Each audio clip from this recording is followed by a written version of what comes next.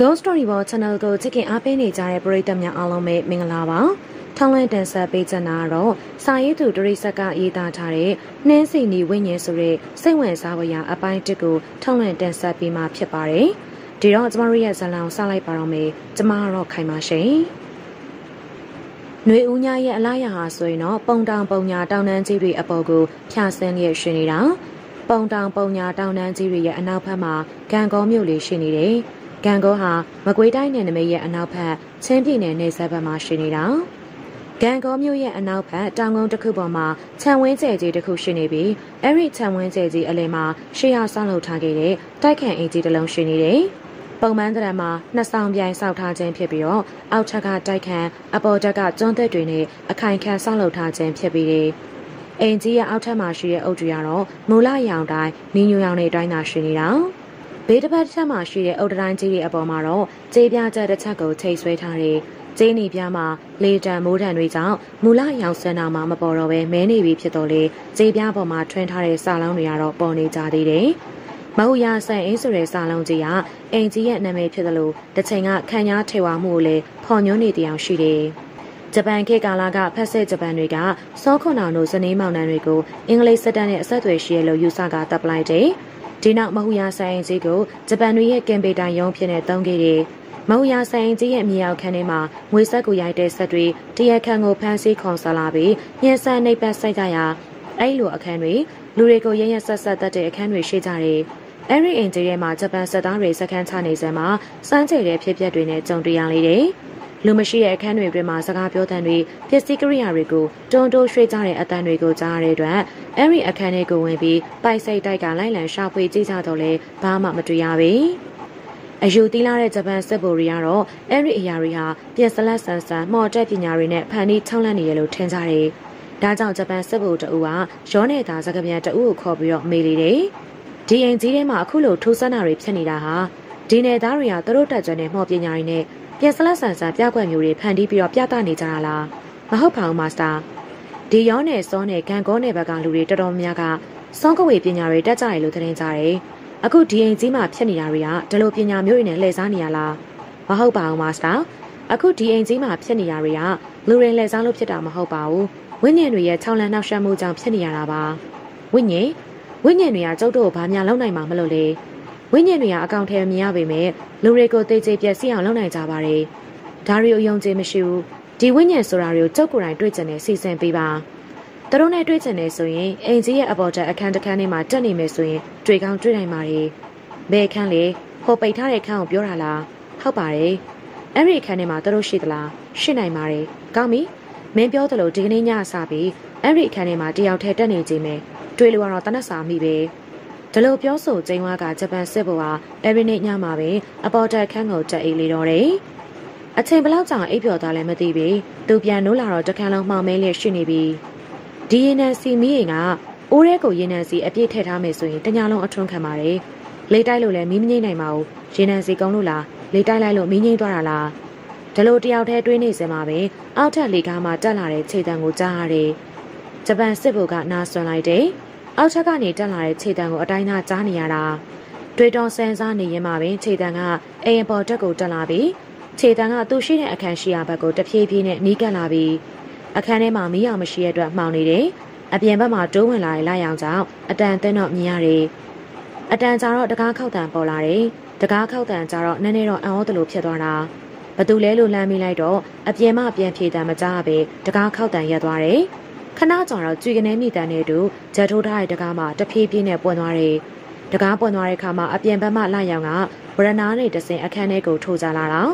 ခဏကြာတော့အရင်မဲကြီးတကူကအခန်းထဲကိုထိုးဆင်းလာပြီးဂျပန်စစ်ဘုံမှာအပေါင်းဝဘက်ကိုတန်းတန်းနဲ့ချိန်ထားတော့လေအရိတ်ကိုသာမြင်ရပြီးအကောင့်ထဲကုန်မြင်ရတဲ့အတွက်ဘာကိုပြရမှန်းမသိဘူးဖြစ်နေတယ်။မင်းမတူလေငါဒီအိမ်ပိုင်ရှင်မယ်။အခုဒီအိမ်ကြီးကိုဒုနီပေါ်မာစတာတွေတည်ယူထားပြီးပြီ။ပိုင်ရှင်ကငါတို့ပဲ။ နင်တို့မတရားတိမ့်ထားနိုင်ရမလားငါတို့မှလက်နက်ရှိတယ်လူအင်အားရှိတယ်မင်းတို့ဘာတတ်နိုင်မှာလဲနင်တို့ရဲ့လက်နက်တွေလူတွေကိုငါတို့ဘာမှမလုပ်နိုင်ဘူးနင်ကဝိညာဉ်တွေကိုမယုံဘူးဆိုလို့ငါလာခဲ့တာပဲငါရောက်လာတာကိုတက်တည်ပြတဲ့အနေနဲ့နင့်ရဲ့ကောင်းရစပွဲမှာပန်းနေတပွင့်တင်ထားခဲ့မယ်အဲ့ဒီပန်းကိုတွေ့ရပြီးတော့၃ရက်တွင်မှနင်တရားလိမ့်မယ်ဒီစကားကိုသာမြဲမြဲမှတ်ထားပြီးတော့ဒါလိုပြောပြီးအနားမှပြန်သွားလိတော့တယ်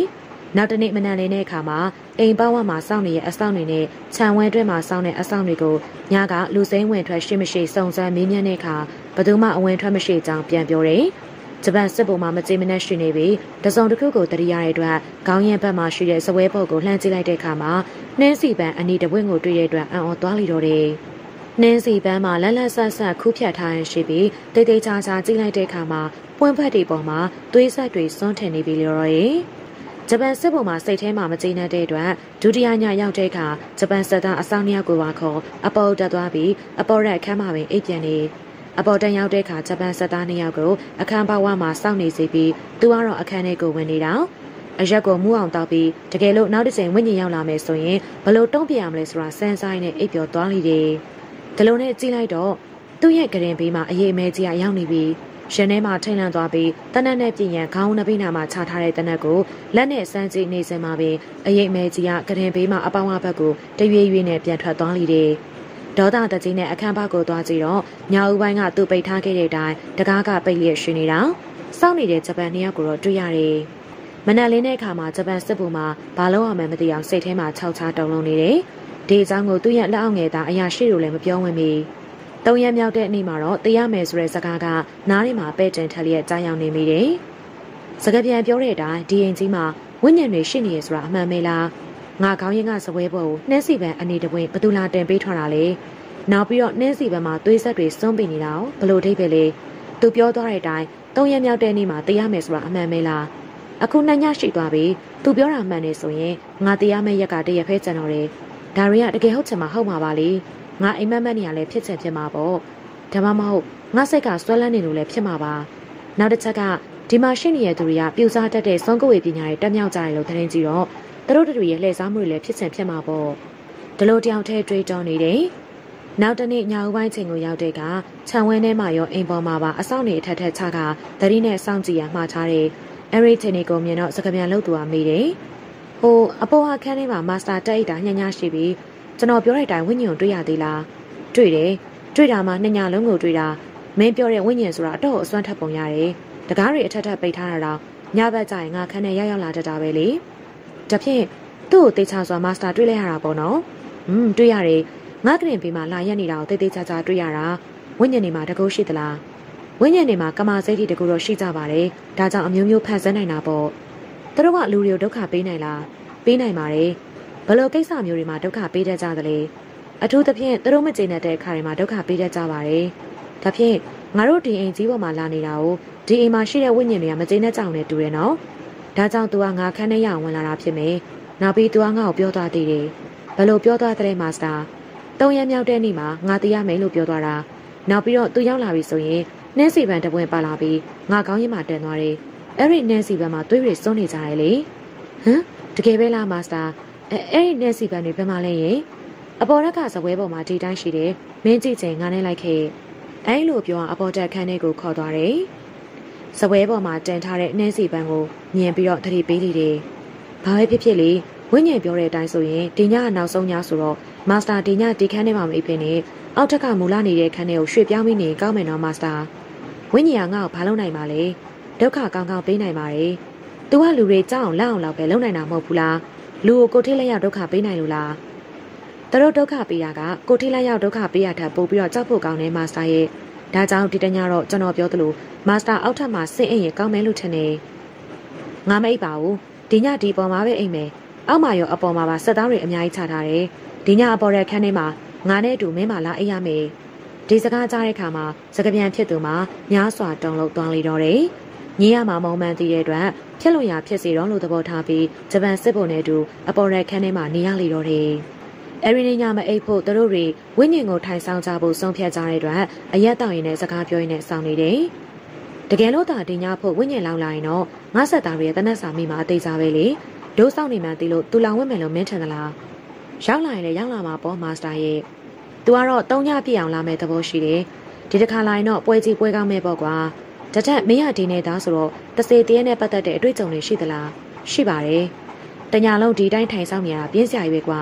အဲ့တော့မင်းတွေ့ကြုံကြရတဲ့အထက်ကကိုတိဝိညာဉ်ဇလန်တပူလောက်ပြောပြစမ်းပါကွာအဲလိုပြောတဲ့အတွက်စကပြန်ကဘာမှမပြောသေးပဲဇပွဲပေါ်မှာတင်ထားတဲ့ကြက်ကြော်ပကံတွေမှကြက်ကြော်တစ်ပိုင်းကိုလှမ်းယူကဝါစားနေတယ်ပထမတော့ဂျပန်စစ်ဘောအံ့ဩနေတာ စကပြန်ကသူ့ဇပွဲပေါ်မှာအစားအသောက်တွေကိုသူမပေးဘဲယူစားနေတဲ့အတွက်အံ့ဩသွားတော့လေအရက်မူးနေရလို့ထင်တဲ့အတွက်ဘာမှမပြောဘဲနဲ့ကြိတ်လိုက်တယ်အချိန်မှညနေပိုင်းချိန်ဖြစ်တဲ့အတွက်ပတ်ဝန်းကျင်တဝိုင်းမှာဆူဆူညံ့ညံ့အတန်တွေတိတ်ဆိတ်သွားလိမ့်ပြီစင်းကြဝရဏဘက်ကနေခောက်တော့ခောက်ပြန်ရှောင်းနေတဲ့အဆောက်ဆက်သားတွေရဲ့ခြေတန်းကမှန်မှန်ကြီးပေါ်ထွက်နေတယ်စကပြန်ကကြက်ကြော်ကိုကြွကြွဝါနေရင်မှာအရင်တော့ကဒီမဟူယာဆန်အင်ကြီးစောက်ထားတဲ့နေရာကတင်ချိုင်းဟောင်းနေရာတစ်ခုပဲလေ အဲ့ဒီတင်ချိုင်းကိုစောင့်တဲ့တပတ်ကြီးတစ်ကောင်လည်းရှိတယ်အဲ့ဒီတပတ်ကြီးကအချိန်မတော်ဒီနေရာတဝိုက်မှာတွာလာနေတဲ့သူတွေကိုခြောက်လန့်လေးရှိတယ်ခြောက်လန့်လို့တရက်သူတွေလည်းအတော့များတာဟမ်တဲကြောက်စရာကောင်းပါလားသူကလူတယောက်ကိုတတ်တော့မယ်ဆိုရင်တခြားတယောက်စီမှာပူကန့်လိုက်ပြီးတော့အနာရောက်မှတက်ပြစ်လေးရှိရလေမင်းဟာတွေ့ဘူးသလားငငယ်တော့ကတော့မကြာခဏတွေ့ဘူးပါတယ်ဒါဖြင့်အဲ့ဒီတပတ်ကြီးကဘယ်ကိုရောက်သွားပြီလဲအခုလည်းရှိပါတယ်ဘယ်နေရာမှာရှိရလဲဒီခန်းထဲမှာရောက်နေပြီလေဟာမင်းကလေ အရက်လေးနဲ့နဲ့တောက်ပါသေးတယ်မူးနေပြီနဲ့တူတယ်ကဲဒီခန်းထဲမှာရှိရဆိုရင်တော့ငါရောအောင်ခေါ်ပြလေးကွာမဟုတ်ရင်တော့မင်းကိုကောင်းကောင်းတန်ပေးရမယ်မင်းတွေးချင်တဲ့တန်ချိုင်းဆောင်တပတ်ကြီးကဒီမှာလေမင်းဘေးမှာရောက်နေပြီကြည့်လိုက်ပါဦး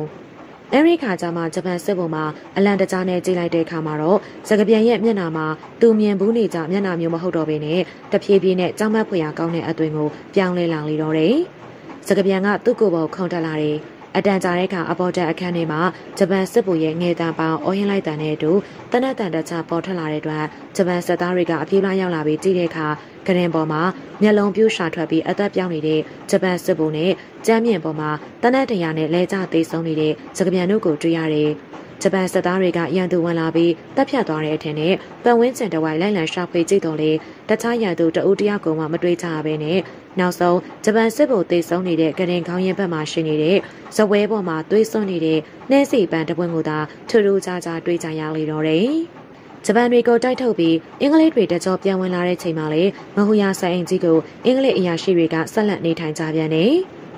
သူတို့တွေကတော့စစ်ဌာနချုပ်သဘောမျိုးမဟုတ်ဘဲဝိညာဉ်နဲ့ပတ်သက်ပြီးလေ့လာရန်လာရောက်နေထိုင်ကြခြင်းဖြစ်ပြီးတယ်။အဲ့ဒီအဖွဲ့ကိုဦးဆောင်တဲ့သူမှာဒေါက်တာလူဝီဆာရိုင်းဆိုတဲ့သူလူဝီဆာရိုင်းဟာကွယ်လွန်ကန်ဒီနမိတ်ထင်မြင်ခြင်းတွေဟာတမလွန်လောကနဲ့ဆက်နွယ်ပတ်သက်လျက်ရှိရလို့အယုံကြည်ရှိတဲ့သူ။အခုဒေါက်တာလူဝေစာရိုင်းဟာလေမဟူယာဆန်အင်ကြီးကိုရောက်လာရခြင်းအကြောင်းရင်းမှာစမ်းကျင်လာတဲ့ပရာလောကသားတွေနဲ့ပတ်သက်တဲ့အကြောင်းအရာတွေကိုကိုတွေ့လေ့လာရန်အတွက်ဖြစ်ပေတယ်။ သူကအင်္ဂလိပ်အစိုးရကအထူးခွင့်ရေးနဲ့အကူအညီပေးထားခဲ့တယ်။သူနဲ့အတူအဖွဲ့ဝင်၅ဦးခန့်ပါလာကြပြီးမဟူယာဆန်အင်ကြီးမှာပင်စရဲချနေထိုင်ကြတယ်။အဲဒီအင်ဂျင်နဲ့ပတ်သက်ပြီးပတ်ဝန်းကျင်ကိုလေ့ကျင့်စုံစမ်းကြည့်တဲ့အခါမှာတော့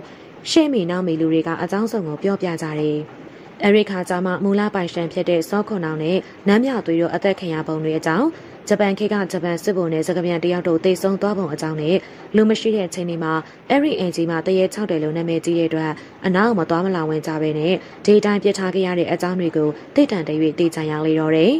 ဒီခါမှာဒေါက်တာလူဝီဇာရိုင်းဟာသူ့ရဲ့ရည်ရွယ်ချက်တိုင်းမဟူယာဆိုင်အင်ကြီးထဲမှာရှိတဲ့ဝိညာဉ်တွေနဲ့တွေ့ကသူတို့နဲ့ပတ်သက်တဲ့မှတ်တမ်းတွေကိုပြည့်စုံအောင်စ조사မယ်လို့ဆုံးဖြတ်ထားတယ်။ ဒေါက်တာလူဝေစာရိုင်းဟာတခုသောနေ့လည်ခင်းချိန်မှာအပေါ်တက်ခန်းကရင်ပေါ်မှာအိမ်မောကျနေစဉ်အိမ်မက်လူလိုမြင်ကွင်းတစ်ခုကိုမြင်မှတ်တယ်။မင်းဘသူလဲ။ကျမဘသူလဲဆိုတော့ရှင်တို့လူမျိုးတွေမတရားတက်လို့တေးကြရတဲ့ဒီမဟူယာစံအိမ်ကြီးရဲ့ပိုင်ရှင်တွေဆိုပါတော့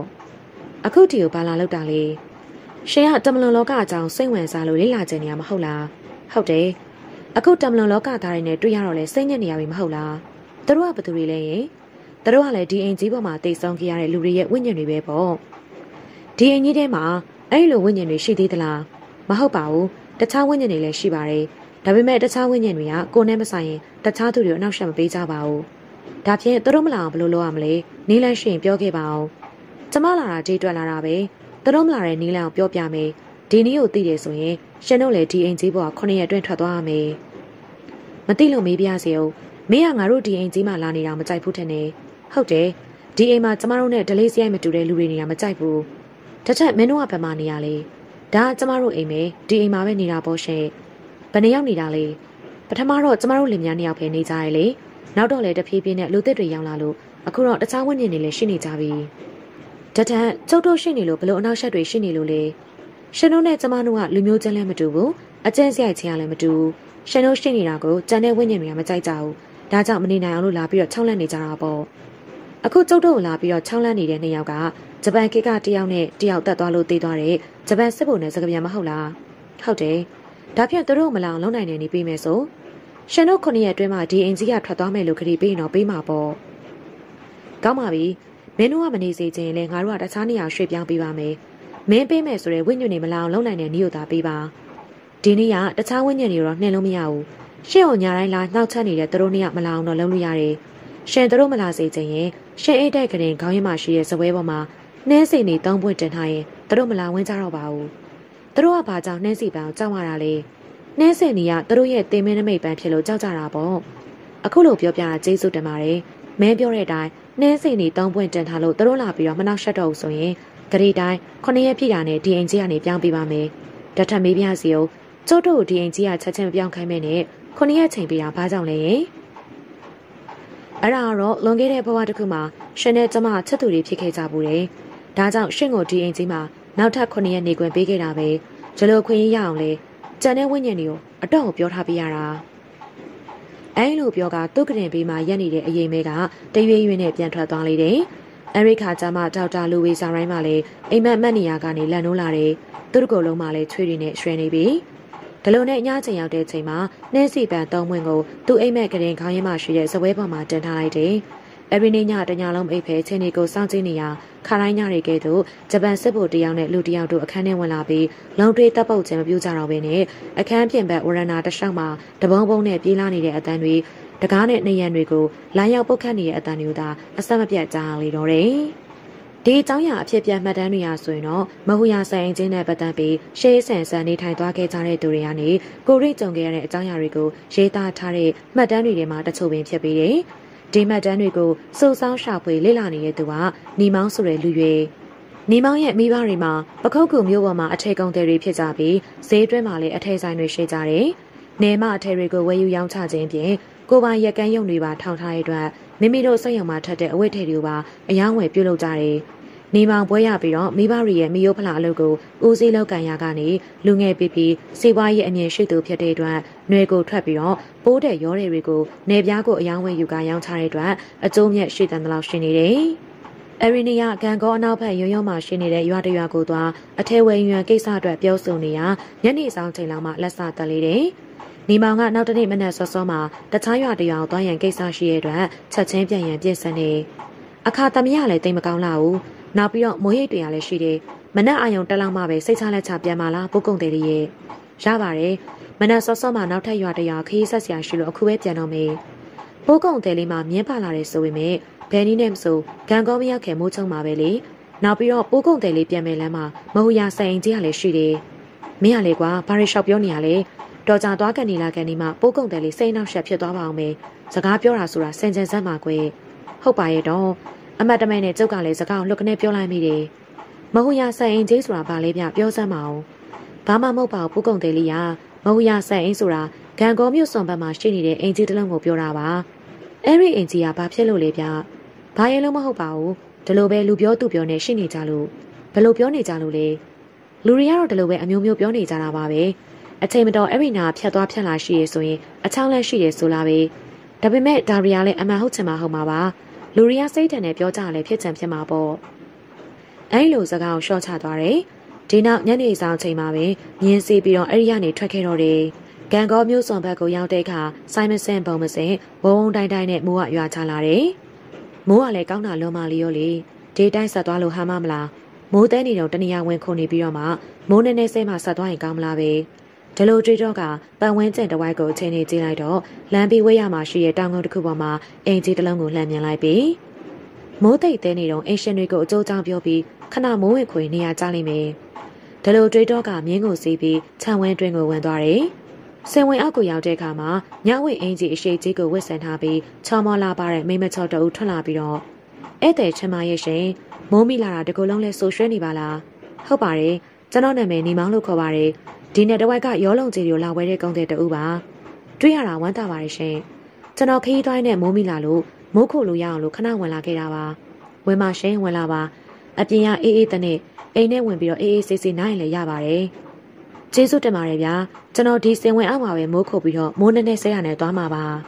နေမောင်ကအမျိုးသမီးတယောက်တည်းတွေ့ရတဲ့အတွက်အိမ်နှဲမဝင်လို့တဲ့အတွက်အဲ့လိုပြောလိုက်ချင်တာဖြစ်ပြီးတယ်။ ဒါလိုပြောဆိုနေစင်မှာပင်လျော်မှုပါတဲလာရုံမကလျက်စီးတွေပါတဝန်းဝန်းတလန့်လက်တောက်ပနေလျာနေမောင်စီးလာတဲ့မြင်းမှာတုံငနေတုံငနေဖြစ်ပြီးတော့လန့်နေတယ်။မိုးကဒီပုံနဲ့တော့အတော်နဲ့ဆဲမယ်မထင်သေးပါဘူး။ရှင်ကြီးဟာချမ်းလာပုံရတယ်။အခုပုံတိုင်းရှေ့ကိုခီးဆက်သွားမယ်ဆိုရင်ဒုက္ခရောက်မှသိကြရလေ။ဒါတော့တလလောက်ပါလား။အထဲဝင်ပြီးတော့မီးလေးပါလေးလုံပြီးနေလိုက်ပါလား။မိုးဆဲတော့တော့လဲဆက်သွားပေါ့။မိုးမဆက်တော့လည်းဒီအိမ်မှာတညာတဲသွားလို့ရပါတယ်။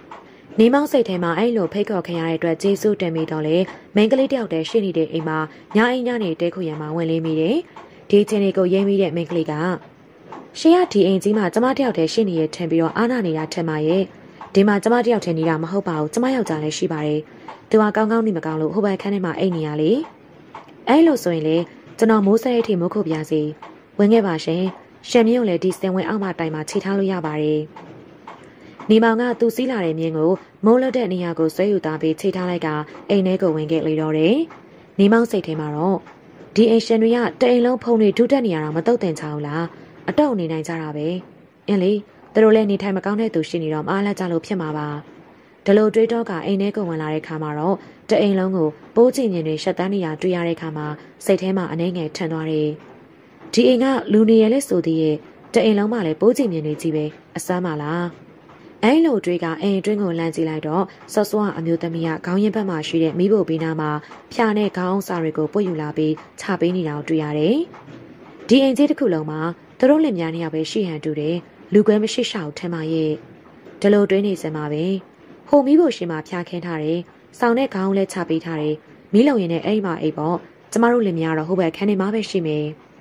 အမျိုးသမီးရဲ့မျက်နှာမှာစောစောအားစတွေ့စမျက်နှာမျိုးမဟုတ်ပေအနှဲငယ်ပိန်ကြသွားကဖြူဘက်ဖြူရောဖြစ်လာတယ်လို့စိတ်ထဲမှာထင်လိုက်တယ်။နေမောင်မှာကြောက်တတ်သူတရားမဟုတ်စေကမူအခုလိုအချိန်နေမျိုးနဲ့တုံကျွေးတဲ့အခါမှာစိတ်ထဲမှာထိတ်လန့်တယ်လို့ဖြစ်လာပြီ။ဒါကြောင့်ဖြစ်လို့ရဖြစ်စီတော့ဒီအိမ်ကြီးမှသာတညအိပ်ပြီးမနက်လင်းမှသာခေးဆိုင်ရအတွက်စိတ်ကိုဒုံဒုံချလိုက်လေတော့တယ်။အမျိုးသမီးကသူ့ကိုလိုအပ်တဲ့ပစ္စည်းတွေလာပို့ပေးပြီးတော့အတွင်းဘက်အခန်းလေးကိုပြန်ဝင်သွားရော်တယ်။ အဲဒီခါမှာတအိမ်လုံးတိတ်ဆိတ်ငြိမ်သက်ခြင်းတွေကမင်းမူလောင်လေတော့တယ်။ထရီထိုးထိုးစမ်းစားမိတော့ပဲသူ့အတွက်လာပို့ပြီးတဲ့မျက်ဖြာကိုခင်းခေါင်းအောင်ကြောင့်မိဖို့မှမိဖို့ရှင်ကြောင့်အနှွေးတက်ကရနေတယ်။ဒီအိမ်ကြီးထဲမှာလူတွေနေကြတယ်ဆိုတာဟုတ်မဟုတ်ရဲ့လား။တအိမ်လုံးလဲတိတ်ဆိတ်နေရပဲ။ဆော့ဆွဟိုမျိုးသမီးဝင်သွားတဲ့အခန်းရော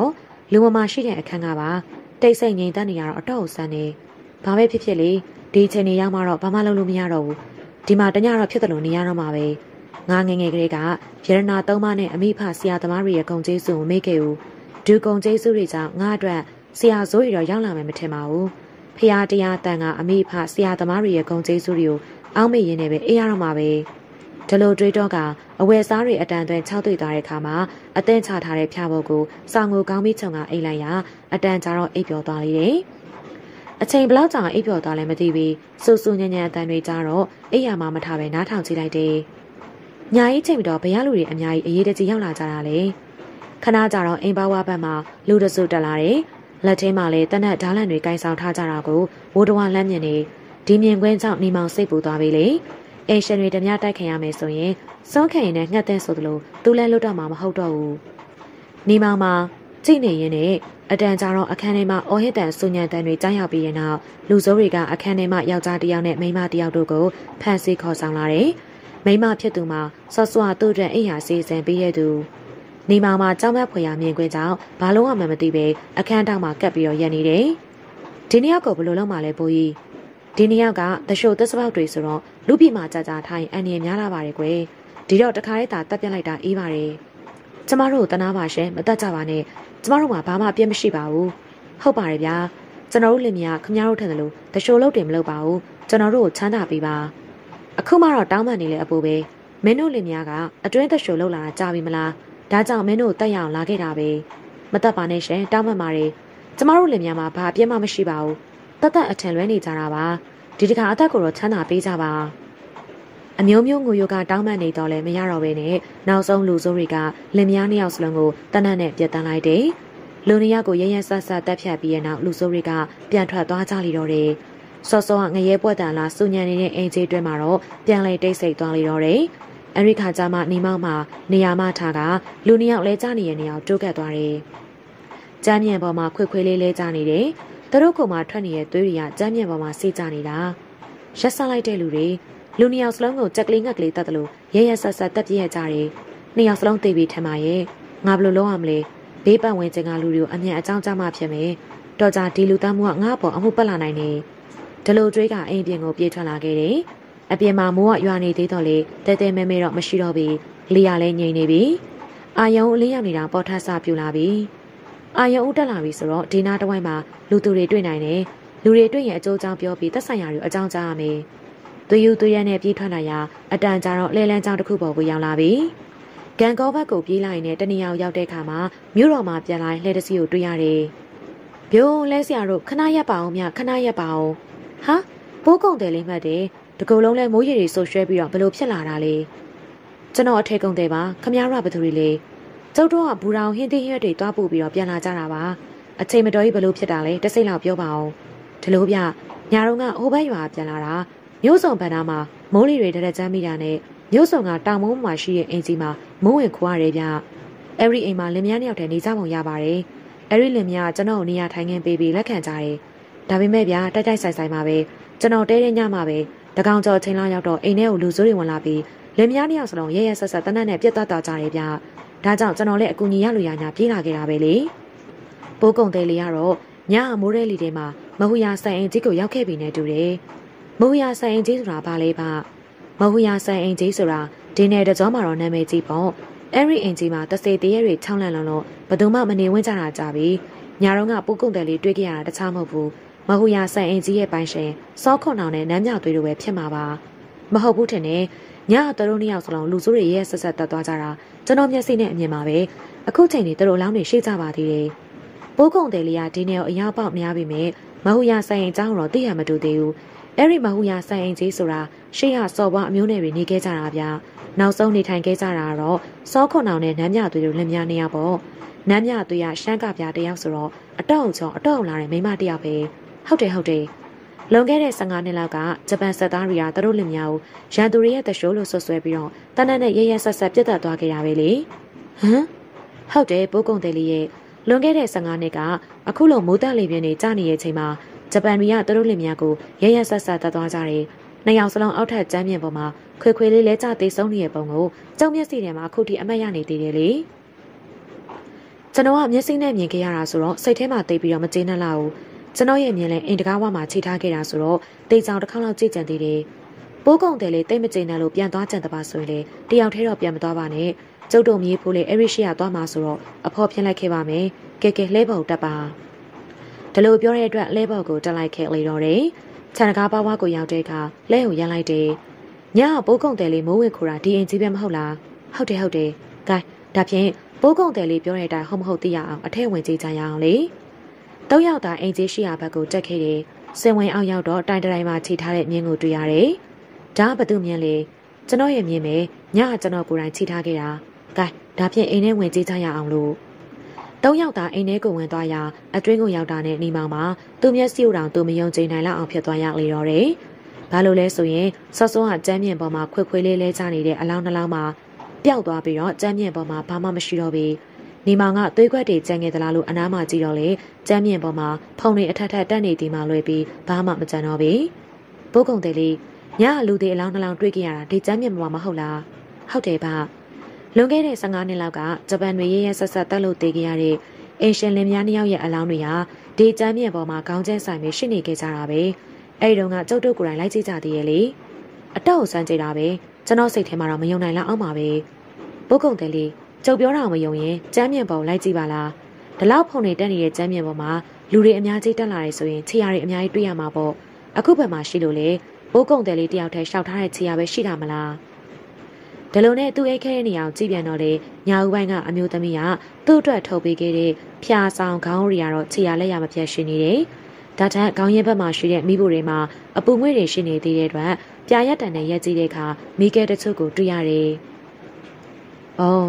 ပိုးကုံတယ်လေးကအတော့တက်တီကောင်းတာပဲ။ညဒီအိမ်ထဲမှာတယောက်တည်းမိရိပါတယ်မှုေးပြီးတော့လုံငယ်သေးတယ်ပေါ့။အဖိုးကြီးကမိဖို့ထဲမှာမေးကြည့်ခဲတွေကိုတစ်ချက်ကြည့်ရင်လည်းမှတ်ချက်ချတယ်။နီမောင်ကအဲ့ဒီမိဖို့မှာသူဖိုထားခဲ့ကြောင်းမဟုတ်တာကြောင့်နဲ့ညကသူရောက်ဆင်ကလေးကမိဖို့ထဲမှာမိတွေရှိနေတဲ့အကြောင်းကိုတော့ထပ်ပြီးတော့မပြောတော့ဘူးအပြင်ဘက်မှာမနက်ပိုင်းချိန်ကိုရောက်လာပြီဖြစ်တဲ့အတွက်အလင်းရောင်တွေကောင်းစွာရနေကြပြီ နေမောက်စိတ်ထဲမှာတော့ထိုးဆန်းလာတဲ့ဝိညာဉ်လောကနဲ့ပတ်သက်တဲ့အကြောင်းအရာတွေကိုစိတ်ဝင်စားနေသလိုမဟုရဆိုင်အင်စီကိုလည်းများစွာစိတ်ဝင်စားမိတယ်အခွင့်အခါတည့်မဲဆိုရင်အဲ့ဒီအကြောင်းအရာတွေကိုထပ်မံလေ့လာနေချင်သေးတယ်ဒီနောက်မှာမိမိမြင်ကိုယူအဖိုးကြီးတို့မြေဖို့နဲ့တူမဟုရဆိုင်အင်ကြီးခြံဝင်းတွင်မှထွက်ခဲ့လေတော့တယ်ဒီကနေ့ရဲ့ Ghost Story Wall ချန်နီယာနဲ့ထောင်းလန့်တန်ဆက်ပေးခဲ့တာကတော့စာရေးသူတရိစက်ကရေးသားထားတဲ့နှင်းစီနီဝိညာဉ်ဆိုတဲ့စိတ်ဝင်စားဖွယ်ရာအပိုင်းတစ်ကိုထောင်းလန့်တန်ဆက်ပေးခဲ့တာပါ